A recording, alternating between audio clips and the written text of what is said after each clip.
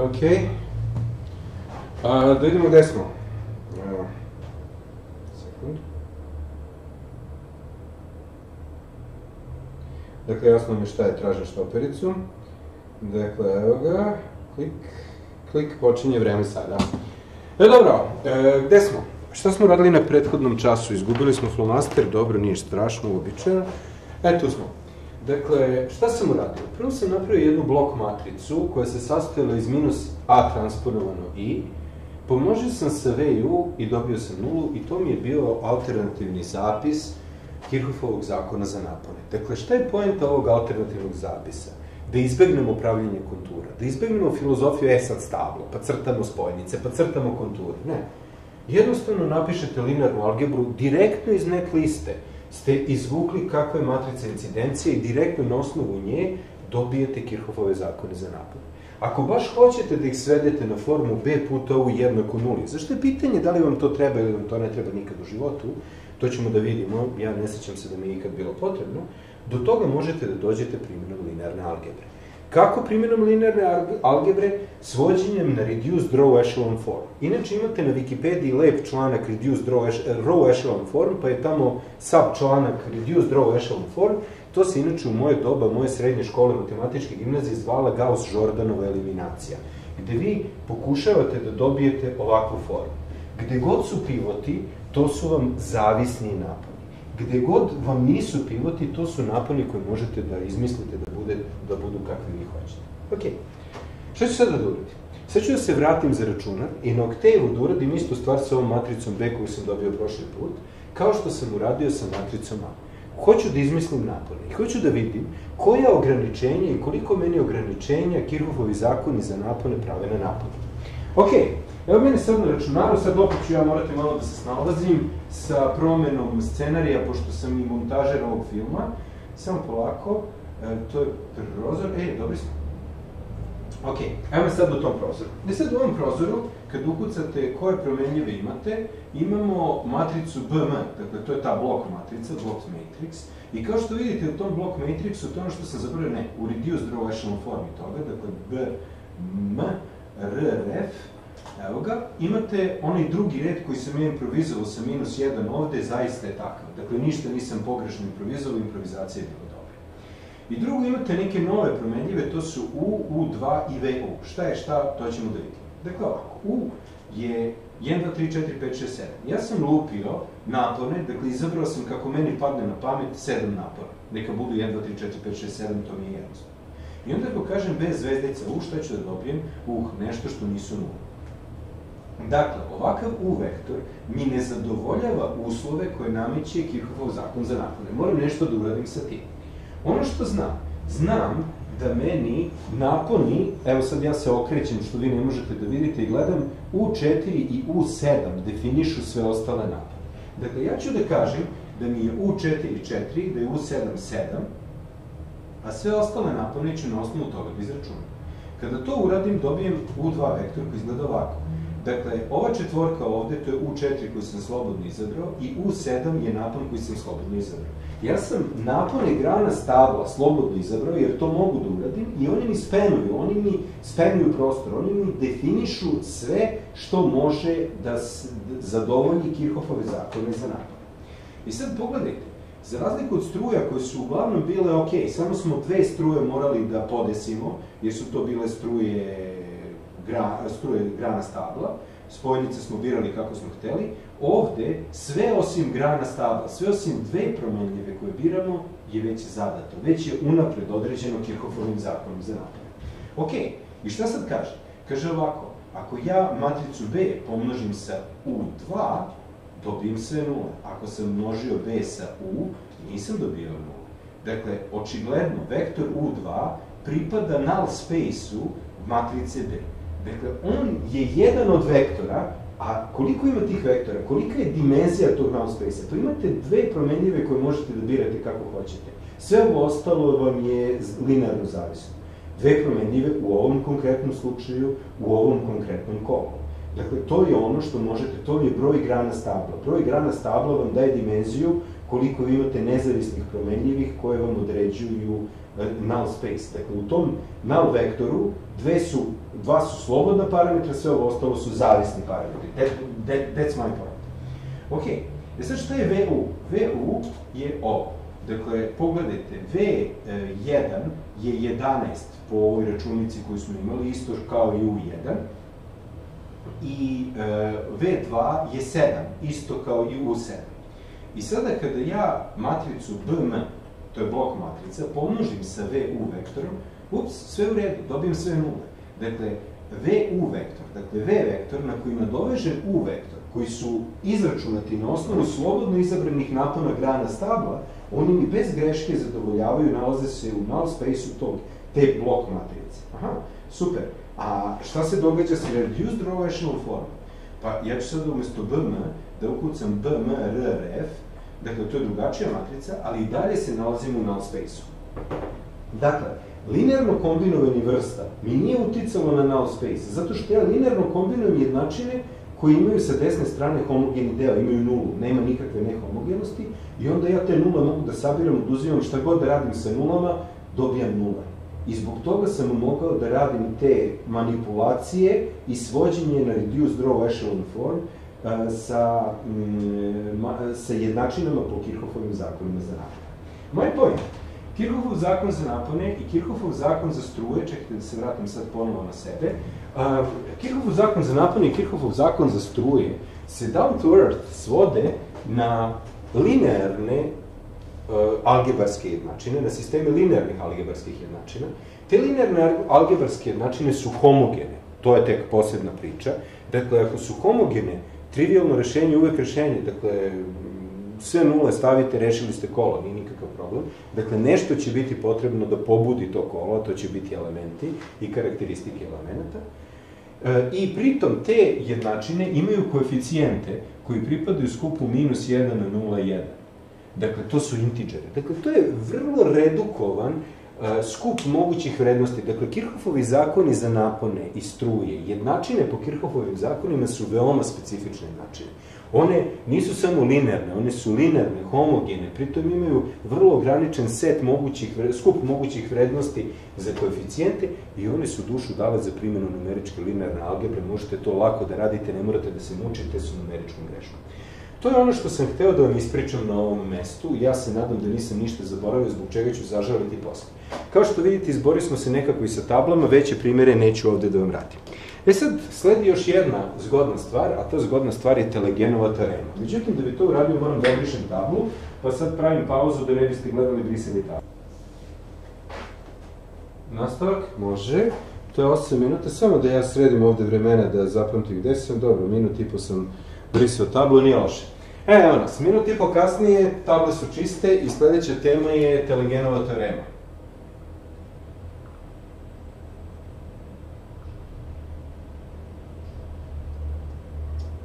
Mislim da je to 1952. godine. I meni je iznenadilo da je to relativno kasno nađeno, ja sam mislio da je to neki 19. vek ili tako nešto.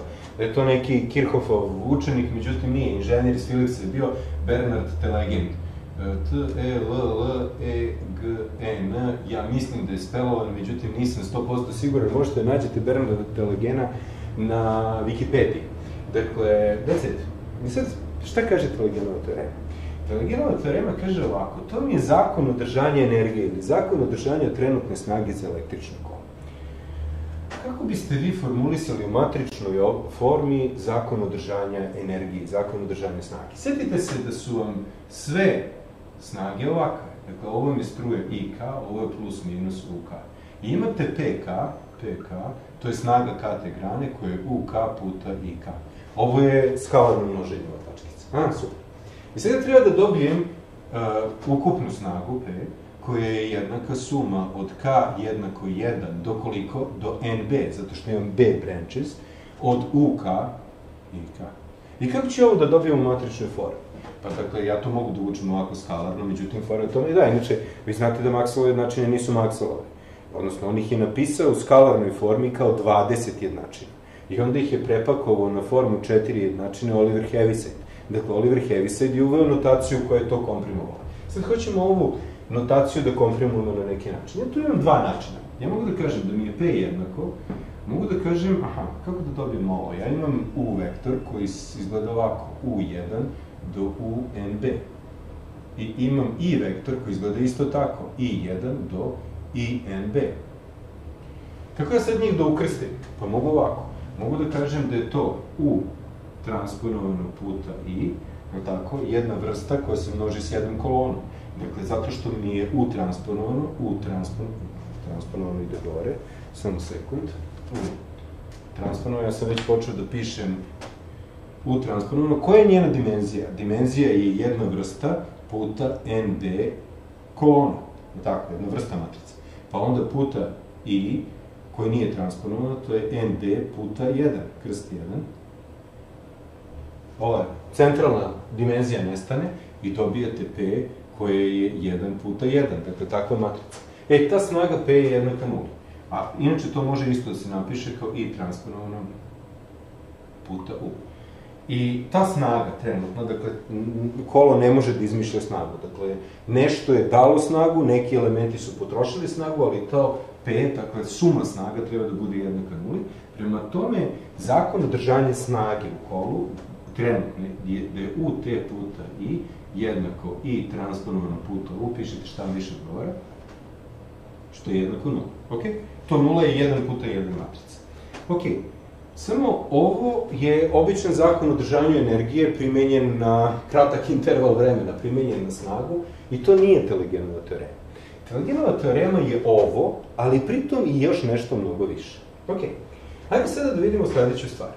Ja hoću da vidim kako mi izgleda e, U transponovano puta I, na primjer, to hoću da vidim. A šta ja znam? Ja znam da mi Kirchhoffovi zakoni kažu sledeće. Kirchhoffov zakon za struje kaže da je A puta I jednako nula i Kirchhoffov zakon za napone mi kaže da je mm, U jednako A transponovano V. Ok, to je to. I da vidim, aha, imam U transponovano. Šta mi je U? U mi je A transponovano V. Dakle, to mi je A transponovano puta V pa sve to transponovano puta i. Što je jednako, aha, ja sad uzem, uđem u ovo, pa istransponujem množenje. Sada setite se nečega što ste učili na nekakvoj linearnoj algebri ili čemu već, šta ste već učili ako ste nešto učili. Dakle, to će biti, ne treba mi više zagrada, pošto je množenje matrica asocijativno. Dakle, to je ono, prsten, grupa, polje, znate šta zadovoljava koje aksiome, i onda sve teoreme koje su za prsten vam krenu na sve što zadovoljava te aksiome. Dakle, uzmemo, svopnemo ovo, onda mi ostane V transponovano, pa mi ostane A transponovano, pa još jednom transponovano, puta I. Što je jednako? Asocijativnost množenja sam, jeli, mogu da stavim zagradu opet. Međutim, that won't make any sense, mislim, to ne znači mi ništa. Što je jednako? E sad ovako, to mi je V transponovano puta A, zato što je A transponovano, pa još jednom transponovano, vratili smo se na početak, puta I što je jednako. Asocijativnost množenja uzmem pa sklonim te zagrade, dakle to će biti V, mislim da se to zove asocijativnost, V transponovano, pa će onda biti puta A puta I, što je jednako V transponovano puta A puta I.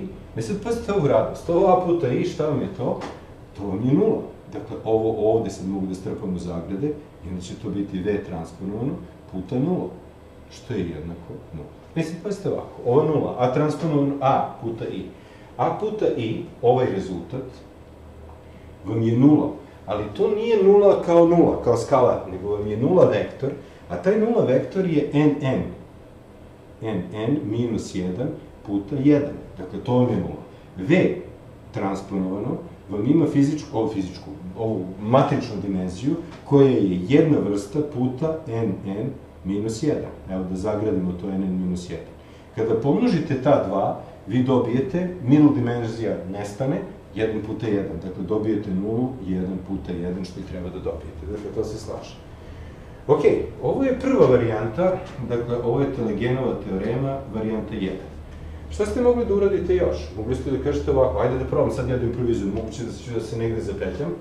A to je um, da krenem sa um, i transponovano puta uh, U. Da li će mi to nešto promeniti? Pa neće mi ništa promeniti, ali ajde da probam da se pojedimo s tim. Dakle, šta ću da uradim?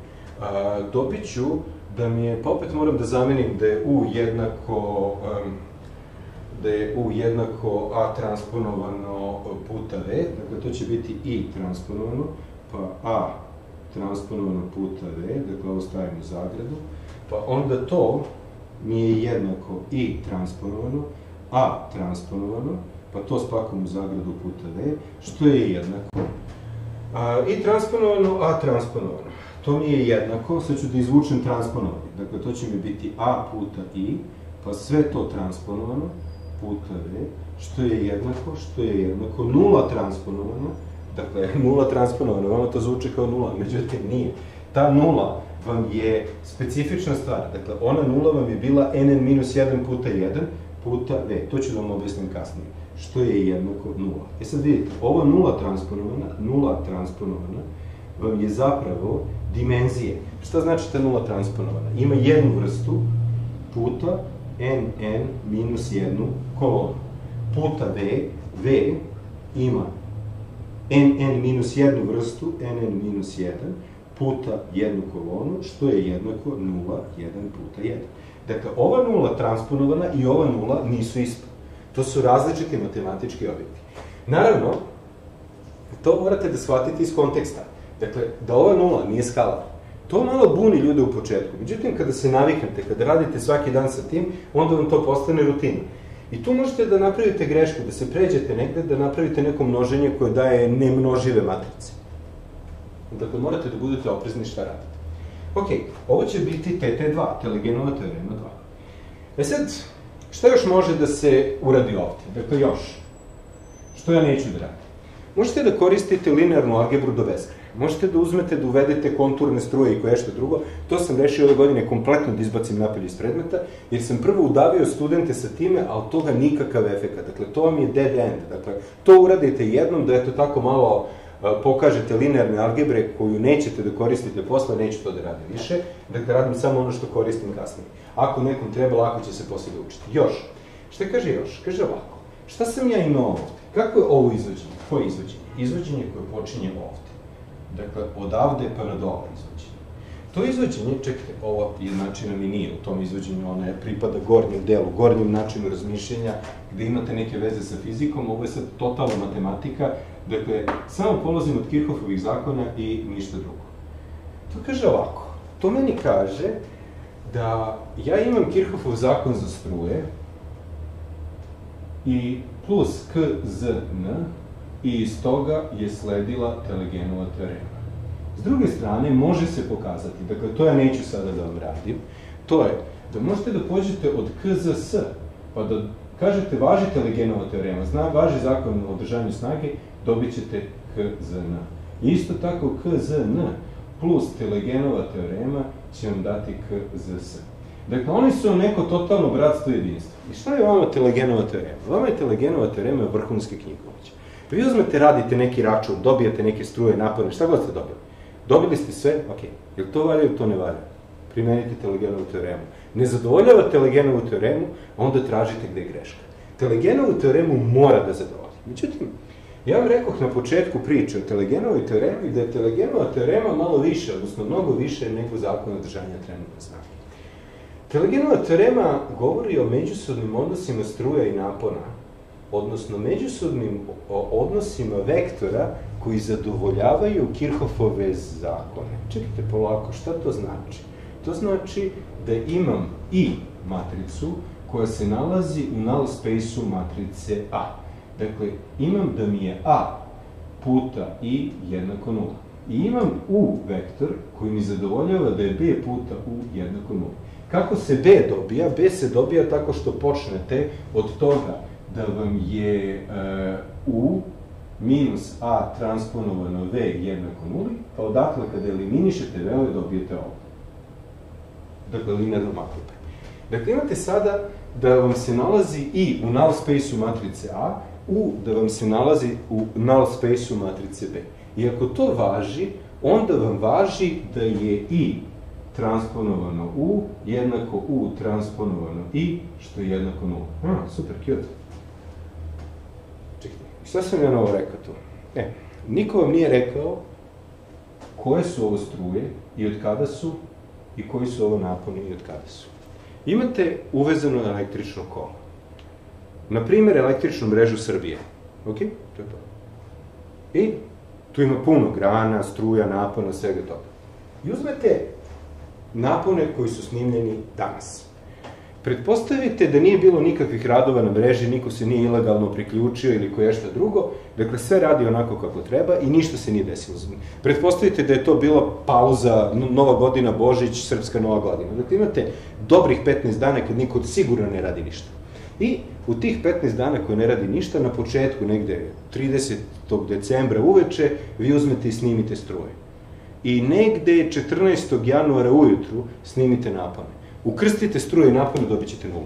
Dakle, bitno je da je struktura mreže ostala ista. Možete da uzmete napone od danas, struje od prekjuče, dobit ćete da njihov proizvod ovako, koji nema veze sa trenutnom snagom. Naponi više nisu ti, struje nisu više te, ali struje zadovoljavaju za istu topološku matricu null space, za istu topološku matricu naponi zadovoljavaju null space i vi njih kad uzmete dobijete, e, to je neobična stvar telegenove teoreme. To je iskorak napred. Dakle, Posledica toga je, to će da važi i u slučaju da su struje i naponi snapshotovani u jednom trenutku, a to je sada. Ali vi možete da snimite struje i napone danas, prek sutra i dobit ćete zadovoljavanje telegenove teoreme.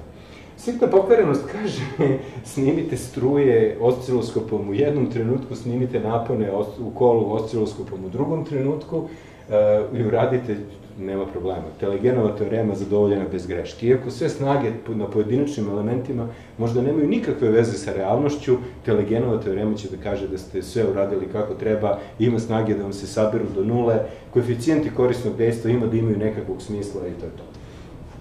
To je bila priča oko Telegenove teoreme za koju nisam siguran da su vam je dovoljno podvukli. Čemu meni služi Telegenova teorema? Uzmem i simuliram nešto i malo sam skeptičan. Telegenova teorema. Kako se implementira? Pa, veoma jednostavno. E, ajde da vidimo šta možemo da dobijemo sa Telegenovom teoremom na našem primjeru koji se još uvek nalazi u oktevu, to mi je sad trenutak inspiracije palo na pamet. E, čekajte samo polako da prebacim prozor, evo ga, tu smo na pravom prozoru, evo ga. Tu smo. Dakle, ja sam dobio napone u 2 koji zadovoljavaju null space matrice B. Dobio sam i 2 koji zadovoljavaju null space matrice A. I onda šta kažem sada? Kažem i 2 prime zvezdica U2, ups, nula, a ako kažem U2 prime, zvezdica I2, opet nula. Dakle, evo vidite šta je Telegenova teorema. Ja sam izmislio napone koji nemaju veze s mozgom, samo zadovoljavaju Kirchhoffove zakone. Izmislio sam struje koje nemaju veze s mozgom. Ne, obično struje nisu 1, 2, 3, 4, 5, 6, 7, pa još malo popravimo dve struje da bi zadovoljile null space. A one opet daju, zadovoljavaju Telegenovu teoremu zakon udržavanja snage. Jel dobro je fora? Ne znam, ne znam koliko vas to oduševljava, ali mene oduševljava, jer daje jednu dublju realnost koju niste mogli da vidite. U šumi brojeva niste mogli da vidite da je ovo zadovoljeno. Ali, po meni, dosta dobra stvar. I ovo čak nisam ni probao sa ovim množenjem, naravno znao sam da će to morati da bude, da se složi, i evo, složilo se. E, ovde ću da stanem sa topologijom. Ranije sam malo razređivao spojnice, razređivao sam struje spojnica, pa je onda bilo da su vam struje, dakle da ćete struje i vektor, da dobijete kao b transponovano puta j vektor, vektor struje spojnice. Međutim, morate sada da radite renumeraciju, šta su spojnice i onda se tu komplikuje cela stvar i rekao sam ne, neću to da vam pričam jer i ovako i onako nećemo da radimo konturne struje. Toliko o topologiji. Šta je sledeći korak? Sledeći korak je da povežemo struje i napone. Dakle, struje i naponi su do ovog mesta potpuno nepovezani. To je kao da pričate o dva sveta, koji nikakve veze zajedničke nemaju. Dakle, to je, imate tamo, sankcije su nametnule struje naponima i oni nikakve komunikacije nemaju, razvijaju se nezavisno jedni od drugih. Međutim, njih povezuju e, karakteristike elementa. Međutim, ostalo je ovde nacrtano jedno kolo koje sam ja zaboravio, koje je trebalo da vam pokaže ograničenja priče koju sam ja ispričao. Pretpostavite ovako kolo. Nisam vam rekao da je ovo kolo smisleno, nisam vam rekao da je ovako kolo pametno i dobro, ali ovako kolo može da postoji. Ok? Fair enough. To je to. E sad, evo nas, ovde. I sad, kad se ovde nalazimo, kažem, ovo neka mi bude čvor nula, ovo neka mi bude čvor 1. Ovo će mi biti grana 1, ta grana 1, je grana koja je kratak spoj. I ovde imam jedan otpornik koji se nalazi u grani 2. I ta grana 2 će biti u cijeloj priči problem. Dobro, da li ovo kolo možete da rešite? Ja ću vam ga rešiti. 100% rešivo kolo bez greške. Evo ovde. Dakle, prvo, koliko je U1? U1 je jednako nuli, to je karakteristika elementa. Onda, koliko će biti I1? I1 će biti jednako nuli, jer ne postoji nikakva druga struja koja bi mogla da se vrati gore. Tako. Onda, koliko je U2? U2 je jednako nuli. A zašto je U2 jednako nuli? Zato što vam kaže karakteristika elementa. Da imate tu kratak spoj, to, to, to je još jedna fora. Dakle, uzmite ovako kolo. Ovo je čuvar 0, ovo je čuvar 1, ovo je grana 1, ovo je grana 2. Ovo kolo će da ima beskonačno mnogo rešenja. Zašto će da ima beskonačno mnogo rešenja? Zato što je ovde kratak spoj, samo sebe. I onda vam teče struja, tu vrti se u toj petlji, to je super provodna petlja, i to se vrti, vrti, vrti, koju god struju zadate, to je zadovoljeno. Međutim, ako stavite otpornik, nije. I onda kaže U2 je jednako nuli, zašto? Zato što je od jednog do drugog kraja otpornika ravno nula, a onda mi je I2 jednako nuli po karakteristici elementa, onda mi je V1 jednako nuli. Dakle, imam NB koji je jednak 2, imam NN minus 1 koji je jednak 1, Dakle, koliki mi je broj jednačina koji mi je potreban da bih rešio? 1, 2, 3, 4, 5. Dakle, 2NB, dakle, dva puta, prvo, naponi grana, struje grana, plus potencijali čvorova, plus NN, minus 1, 2, 2 put 2, 4, plus 1, 5, to je 5, evo ovde 5 komada rešenja. Sve u redu, nije nikakav problem. Mhm. Super. Važi, ali, ajde da vidimo kako izgleda matrica A. Matrica A. Koliko ima nn minus 1? nn minus 1 je 1, odlično. Imam samo jednu vrstu. Koliko imam grana? Imam dve, znači imam samo dve kolone. Dakle, ovde će da bude i1, ovde će da bude i2. Ok? Već sad kaže ovako, i1 izlazi iz čvora 1, super, plus 1. Šta se dolazi iz čvora sa granom 2? Grana 2 izlazi iz čvora 1, dakle plus 1, a onda ulazi ponovo. dakle, ovde imate minus 1. Plus 1 i minus 1 ne može da bude istovremeno. I šta ćete da uradite u tom slučaju? Pa to je mali problem. Zato što možete da uzmete da ih saberete. I ako njih saberete, ovde dobijete 0. Aha. A, dobro. I ovo malo pravi probleme. Ovo malo pravi probleme. A, ajde da vidimo kako će da izgledaju potencijali čvorova. Šta će se događa tu? Dakle, ovako. Imaćete da je U2 U1, to tako, jednako, čemu, a transponovano, to je 1, 0, 1, 0, puta potencijal V1. Ne, čekajte, ovo nije tako loše. Dakle, dobit ću da je U2, znači da je to jednako, V1, 0. Dakle, odmah mi je rešio da mi je napon O, polako, polako, zašto sam napisao U2? Treba da napišem U1, U2, dakle U1, U2, to je moja greška, nešto sam mislio napred. E, to je to, onda ide 1, 0, dobio sam odmah da mi je U2 jednako 0, što i nije tako loše. Dakle, ovo mi se sa svim lepo zatvorilo. Međutim, ta struja I2 mi ne figuriše ovde, u, e, ne figuriše mi ovde u jednačinama po strujama, po Kirchhoffovom zakonu za struje. Zašto ne figuriše? Pa zato što je to već implicitno zadovoljeno. Dakle, možda ovo čak što sam mislio da će biti patološki primer i nije patološki primer, dakle, ostavit ćemo to da razradimo kasnije, dakle, mislio sam da će nastati problem zbog ovoga, jer obično ljudi, setio sam se toga kad sam razmišljao o parseru, obično ljudi isključuju ovakvu mogućnost, koju duše niko normalno neće ni da primeri. Međutim, postavi se pitanje, čekaj, ako ja pišem parser, i šta ako mi je čovjek napisao da mi je grana 2, evo je grana 2, razvučena između čvora 1 i čvora 1. Ja počnem od matrice incidencije koju inicijalizujem na nulu, jednom plus 1, jednom minus 1, koje su posledice toga. Nisam siguran, ovo sada je ispalo začuđujuće dobro, jer sam improvizovao sada primer, međutim, ne znam, treba videti dalje kako, kuda bi nas odvela analiza ovog kola i kako bismo, da li ovo treba da je eksklud ili ne treba da je eksklud prilikom pisanja parsera. Naravno, kažem, nije praktično značajno, ali kada vam neko testira program, on će upravo ovakve idiotske primere da vam daje da pokaže da vaš program ne valja. Drugo, kolateralna korist je da vidite jedno kolo koje ima beskonačno mnogo rešenja. Jer ako je ovde kratak spoj, tu ćete imati zaista beskonačno mnogo rešenja, jer bilo kakva struja će moći ovde da se vrti po ovoj petlji. To je. Vama je uh, kratak spoj kao element superprovodnika. Tu imate superprovodnu petlju kroz koju ide bilo koja struja. Ok, nehotice i to završi smo. Uh, ne onako kako sam očekivao, međutim završilo se uh, u suštini pozitivno. Ok, telegena i sad hoćemo da povežemo struje napone. E, da povežemo struje napone, samo da ja napravim pauzu, da obrišem tablu. Ok? Ovo snima? Da, snima. Ok, važi. Dakle, uh, tablo model.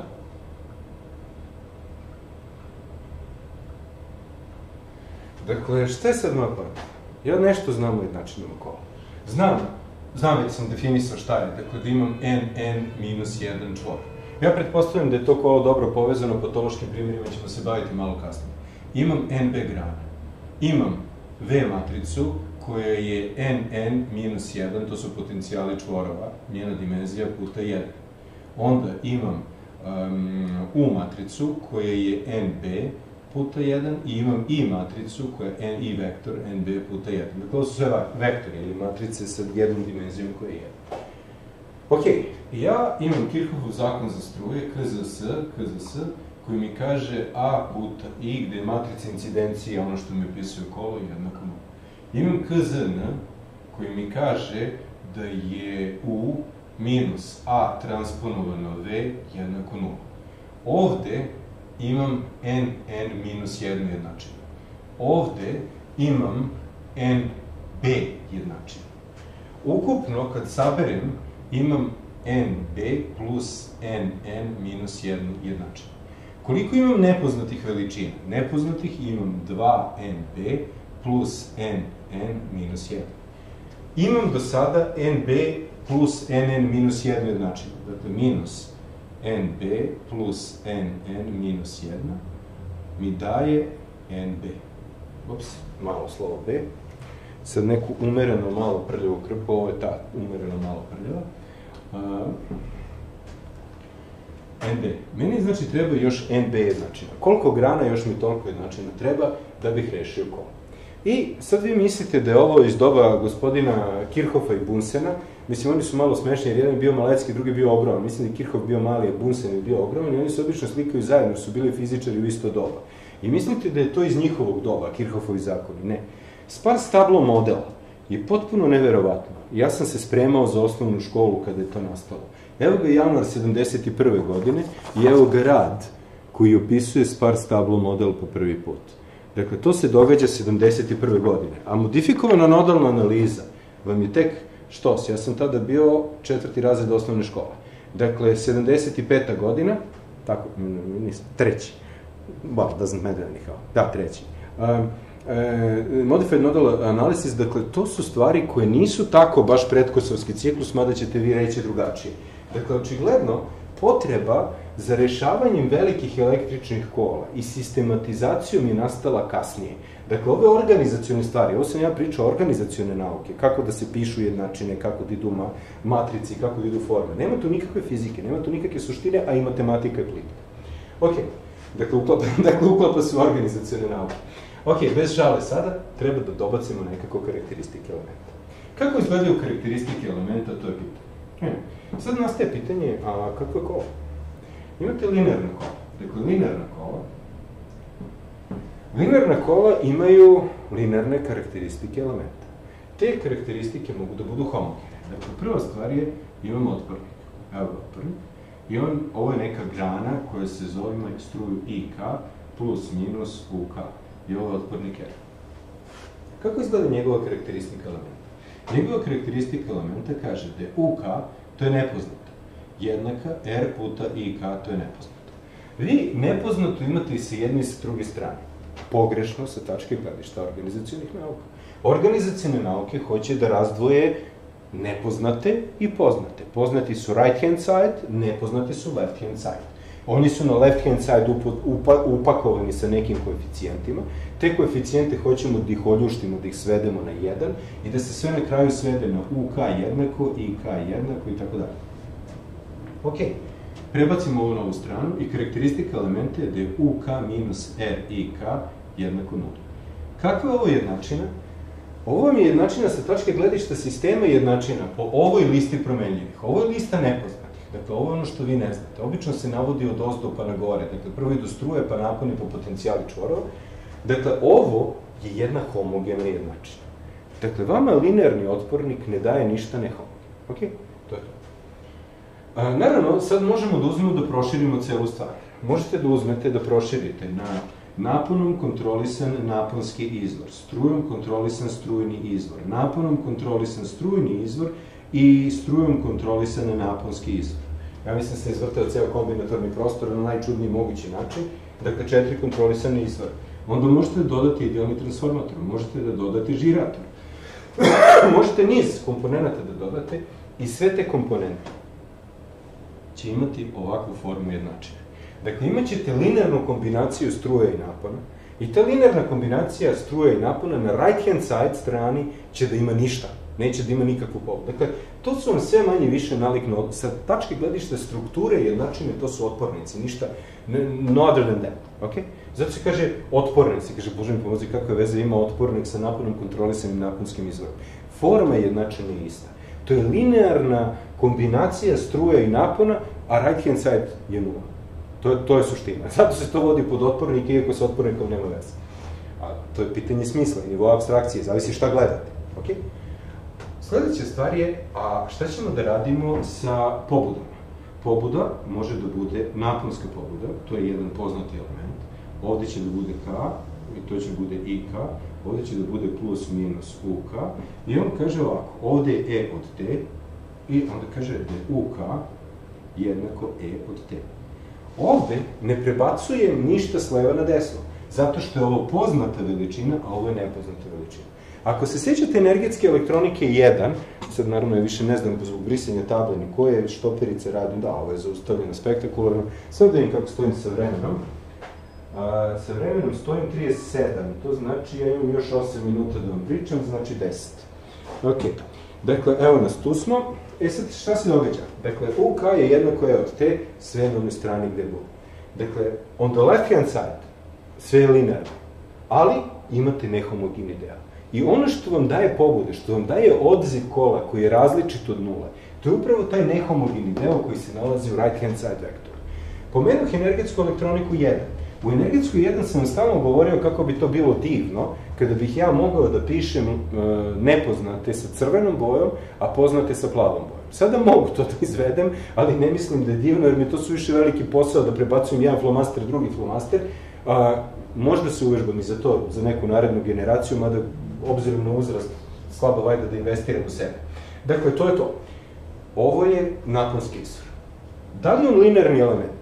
Dakle, to, to je ono standardno pitanje. Kaže, kako je to sinusoidalni izvor napona linearni element? Pa linearni element je zato što vam je left hand side linearna jednačina. Dakle, nema nikakvih nelinearnosti. A right hand side šta je? Left hand side je linearan. A right hand side šta je? Što god hoćete. Koja god hoćete funkcija je od te, to je pobuda. Dakle, ona je ono što dobijate sa desne strane, to je nekakav broj. Ti brojevi se kako ide vreme menjaju, za svako vreme, u zavisnosti od toga, vidjet ćemo, doći na to, dobit ćete odgovarajući odziv na left hand side. Ok, dakle, struj, naponski izvor. Dakle, naponski izvor je specifičan. Strujni izvor će takođe biti specifičan i evo ga ovde strujni izvor. To je strujni izvor plus minus UK, ovde je IK, čekajte, nisam ovde lepo na lepo mesto stavio. Ovo je čak i za moje pojmove fantastično. E, danas, hop, IK, UK i ovde je I od T. Ovde obično pišemo E, ovde pišemo I, E, da, još jedno. Mirko pokoj ne da ga ispuštam, toliko je to napisao generatora. Zašto? Zbog ovog IG, pa i na jednom i na drugom pisao generator. I ovde ćete imati da je IK jednako IG od T, dakle to je karakteristika elementa. I opet spada u isto. Dakle, on the left hand side, sve je linearno. Dakle, imate nulama umnožene sve ostale promenljive, samo je kod IK jedinica, a on the right hand side je nešto, nekakav broj, neka nehomogenost i to je to. Ok, i ovim završili smo linearne elemente, dakle, dodate još ove elemente koliko vam trebaju, koliko su vam potrebni i to je to. Dobro. E sad, šta ovo pokriva? Ovo pokriva linearno rezistivna kola. Dakle, linearna rezistivna kola se svode na rešavanje sistema linearnih jednačina. E, zašto ja to vama pominjem? Pa pogledajte ovako. A, kako vi možete da rešavate sisteme? Prvo, u doba, boga mi ne tako davno, glavni način za rešavanje e, su bili analogni računari. Dakle, oni su simulirali diferencijalne jednačine. To postoji u Đušinoj analogni računar za simulaciju sistema automatskog upravljanja. Dakle, diferencijalno jednačinu da vi ne rešavate, nego da napravite neki analogni sistem koji je opisan istom ili sličnom diferencijalnom jednačinom i da pratite to rešenje i da ga preskalirate na vaš konkretan broj. Digitalni računari su drugačiji, oni su konformni za rad, nema šta. Međutim, oni su ograničeni na rad sa intiđerima. Pa onda te intiđere malo proširite, ekstendujete ih na nekakav floating point. Pa onda kako se to ekstenduje na floating point, koliko su gusto pakovani ti brojevi, to je isto pitanje. Međutim, to je konačan broj mogućnosti, to nije realna os. Pogotovo, nije čak ni racionalni brojevi, to je podskup skupa racionalnih brojeva što mama floating point može da prikaže. Ok, e sad, šta možete da rešite? Možete da rešite samo sistem linearnih jednačina. I sve drugo što rešavate, dakle, šta vam radi računar? On vam radi aritmetiku intiđera, ništa više. I vi hoćete sada, to jest ja hoću sada, da svedem sve probleme simulacije na i rešavanja kola na aritmetiku intiđera. Naravno, za to će mi biti potrebna jedna količina filmskih trikova, ja sad te filmske trikove polako uvodim kod vas. Ajde se ograničimo na linearna rezistivna kola. Linearna rezistivna kola kaže ovako, kako ja mogu da generalizujem sve ove karakteristike elementa? Ove neću da vam pišem jer bi popunio ceo predmet pišući koje kakve, to, to je omiljeno, kad treba da dobijete 200 grama knjige iz teorije električnih kola, uzmete i popišete karakteristike elemenata. Ne postoji lakša stvar da popunite knjigu nego da pišete, a to je ono najplića stvar. Dakle, nema potrebe to da vam pišem, mislim da to možete sami, već ste diplomirani inženjeri elektrotehnike i računarstva. Ok, so what's next? Ja hoću sada to da generalizujem. Generalizacija ovoga kaže ovako. Meni su karakteristike elementa NB jednačina i tih NB jednačina imam za svaku granu po jednu jednačinu. Ok? To je to. Ja ne mogu od jednog otpornika da prepišem e, puno puta jednačinu jer ona ne nosi nikakvu informaciju. Dakle, svaka grana mora da ima svoju jednačinu, svoju informaciju koja kaže ja sam to i to i ja ću nešto da radim u tom kolu. Ne možete pet puta da prepišete za jedan otpornik jednačinu pa tako dobijete pet jednačina. Ok, i one se mogu svesti karakteristike elementa na P puta I, dakle P je nekakva matrica, A matrix, plus Q puta U, Q puta U, mislim da to možete sami da identifikujete, je jednako duplo V generatora od T. Ok, to je to. Dakle, ovo je opšta forma. I ova opšta forma vam karakteriše linearne elemente. Kako linearne, kad ovo može da bude šta god hoćete, pa to nije bitno. To je right hand side, to je broj, to je nešto što je poznato. Ono što je bitno, bitno je da je ovde matrica sa nekim koeficijentima, koja se množi sa vektorom i, neka matrica koja se množi sa koeficijentima u. Jedino što je sa right hand side-om su generatori, ali oni su trivialni, oni imaju samo jednu jedinicu u tim koeficijentima. Najkomplikovanija stvar je linearni otpornik. Kako uzmete bilo koju od ovih drugih kontrol, to čas posla, to će vam biti dve jednačine. Recimo, ako, ajde sad i to da vam uradim jednom i neću više, hoćete recimo e, strujem kontrolisan naponski izvor. Dakle, ovo će biti čvor e, i, čekajte, kako da ih sad, kako da ih sad zove, e, nećemo da zovemo tako, jer su i-ovi i-ovi, nego će to da budu A, B, ovo je čvor A, ovo je čvor B, i ovde kontrolisani izvor, GM, ovo će da bude jedna grana, ovo će da bude C, ovo će da bude D.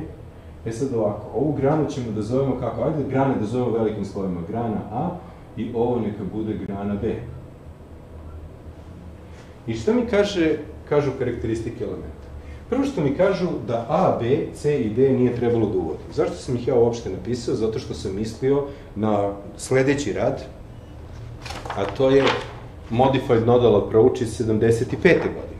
75. godine je ovo bilo jako važno. Međutim, za potrebe PI i QU, meni potencijali čvorova ne trebaju ni za što. Ja te čvorove mogu da obrišem. Evo, džaba smo pisali, pa ću sada džaba i da obrišem. Meni je bitno samo koja je grana. I šta kaže ovako? Ovde kaže, ovo je grana koja je indeksirana sa velikim A. kaže da je UA, pošto je ovde žus, jednako nuli. Dakle, to je prva jednačina. Okay? Ona će u Q matrici imati na jednom mestu, na mestu koje odgovara indeksu A, jednu jedinicu, u P matrici neće imati ništa. U VG matrici neće imati ništa. Dakle, to će biti njen doprinos uh, jednačina. A drugi mi kaže da je struja B jednaka, ovo još uvek nije finalna verzija, jednaka GM puta IA. Pardon, nije IB, nego je UB, sekund jer sam promašio tip izvora, dakle UB, UB je jednako GM puta IA. Ovo se ne uklapa u ovu formu, zato što mi je on the right hand side variable, ok? Dakle, kako će to biti? Biće minus GM IA plus UB, B jednako 0. Dakle, ovo je prva jednačina koja kaže da je UA jednako nuli, a druga jednačina, i kao što vidite, ona se svodi na linearnu kombinaciju, u ovom slučaju i A i UB. Dakle, nisu na istoj grani, nego su na različitih granama. Other than that, ovo i otpornik je ista forma jednačina. Dakle, to je, zato se kaže to je linearno i zato se kaže ovo su rezistivni elementi, ovo su otpornici. Kakvi crni otpornici kad je to kontrolisan izvor? Pa evo, jednačina ti kaže da je to otpornik. Potencijali čvorova su ovde potpuno nebitni. Zašto? Zato što mi potencijali čvorova, imena čvorova kažu gde je ovo vezano u kolo. A ja pričam samo o karakteristici elementa. I don't care gde je to vezano u kolo. Ok? E sad, to je to. I sad kako ću ja da složim sistem jednačina? Sistem jednačina ću da složim ovako. Kažem prvo, KZS, KZN, mi ih imam. Aha, znači A puta I je jednako nula. Pa onda kažem da je U minus A transponovano V jednako nula, dakle to su prva dva zakona, pa onda kažem P puta I plus Q puta U je jednako duplo V G od T. A, super, to je to. Da li ja mogu ovo da napišem u block matrix fori? Mogu. Ako napišem kao block matrix, ovde će biti A, pa ide 0, pa ide 0. Pa će onda da bude ovde, um, ovako, ovde ide 0, zato što nema veze sa strujama. Pa će ovde da ide jedinična matrica I, i to NB puta NB, pa će ovde biti minus A transport, pa će ovde biti P, pa će ovde biti Q, pa će ovde biti 0. Dakle, ovo mi je jedan block matrix, o kome ću da vam pričam na sledećem času koliko sutra jako puno. A onda, ovde mi ide prvo struja I koja tuče ovu kolonu, pa naponi U koji tuku ovu kolonu, pa potencijali čvorova V koji tuku ovu kolonu. I onda to vam daje ovde nulu, ovde nulu, i ovde duplo VG od T. Ok. Ova nula i ova nula izgledaju isto i pišu se isto. One su različite, imaju različite dimenzije. I hoćete da napišem i dimenzije? Napisat ću vam ali na sledećem času. Dakle, e, to je ono što vam kažem. Dakle, morate malo da imate e, context sensitive approach. Dakle, da iz konteksta znate šta se ovde nešto odnosi. E sad, ova matrica će da se zove tablo matrica. ova matrica je vektor nepoznatih tablo modela. Ovo se razlikuje od onoga što mi priča Antonije na osnovom elektrotehnike. Ja sam bliži shvatanjima pokojnog Mirka Milića nego Antonija, koji nema tu taj prefiks, i ovde će da bude c od t. I onda vam tablo model kaže, tablo model je t puta y je jednako c od t. Vi kažete, jao, kako divno napisana jednačina, kako ovo sve jednostavno, aha, jeste. A šta se krije iza toga? Ovo. A šta se krije iza toga? Pa pogledajte nekoliko prethodnih časova. I sad ćete da vidite da jedno malo kolo, kad se raspakuje ovako, to su redke matrice, ali su ogromnih dimenzija. I onda ćemo malo to da čistimo. Međutim, ovo je jako povoljno za izvođenje raznoraznih teorema kola i koje je šta drugo, zato što vam je uh, raw form. Dakle, naslagane su jednačine tako da sistematski rade posao. Naravno, da bi ovo imalo jednoznačno rešenje, ovo mora da ima adekvatan rang. To podrazumeva ovu matricu, ovu matricu, a i ove dve matrice. Nima pitanje, kaže ovako. Imate kolo koje izgleda na sledeći način, čekajte ovako. Imam jednu granu, je tako, ok. Onda imam drugu granu, ovde mi je uzemljenje, ovo, i ovde mogu da stavim još jednu granu, i ovde mogu da stavim još jednu granu. I postavlja se pitanje da li ovo kolo ima povezan graf ili nema povezan graf. Ovo kolo, uzmete, označite grane, izbrojite grane, da, da, naravno, to ima povezan graf. A zašto sam ja to pričam sada? Zato što postoje karakteristike elementa. A jedna, jedan element je strujni izvor. A taj strujni izvor može da kaže da je ovde i jednako nula. I to je jedino što može da kaže. Jer ne može da kaže da je i različito od nule, jer imate snop ovde, koji ako je i različito od nule, će da dovede do toga da sistem nema ni jedno rešenje.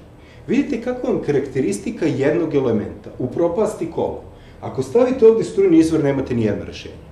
A ako stavite da je i jednako nula, stavite otvorenu vezu, kolo ima beskonačno mnogo rešenja zato što se graf, graf meže suštinski, fizički raspada. On formalno nije raspadnut zato što postoji element.